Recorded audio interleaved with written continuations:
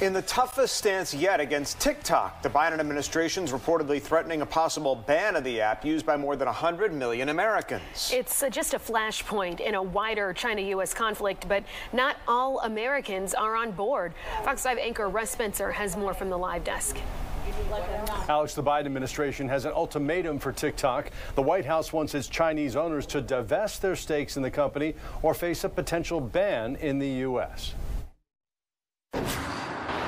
TikTok CEO says a forced sale wouldn't change much, while some politicians say new ownership isn't enough. There is bipartisan concern that the app could present national security risks, with users' private information potentially going to China.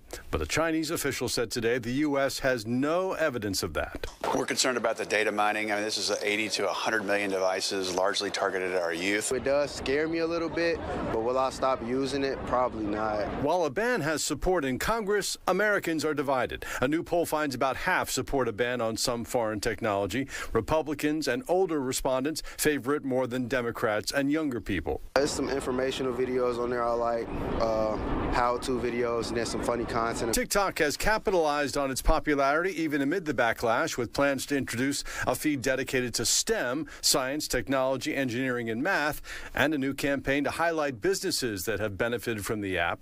But critics say it's just a head fake.